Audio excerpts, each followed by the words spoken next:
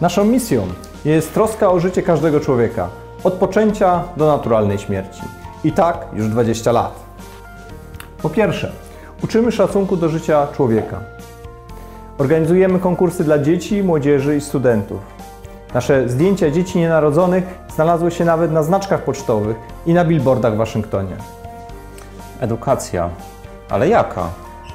Zawsze pokazująca piękno życia i pozytywna, bo życie jest pozytywne. Po drugie, pomagamy finansowo samotnym mamom oraz rodzinom posiadającym niepełnosprawne dzieci. Przygotowujemy paczki żywnościowe dla najuboższych rodzin. Uważamy, że pomoc materialna jest naszym moralnym obowiązkiem. Formalności minimum. Najważniejsze, aby nasza pomoc była skuteczna. Co jeszcze? Pomagamy innym zrobić coś dobrego.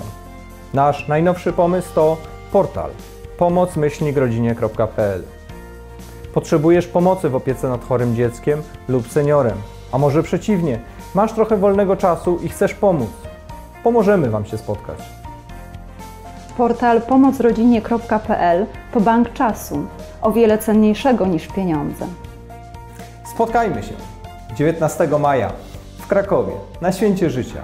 Wtedy opowiemy o naszych planach na najbliższe 20 lat.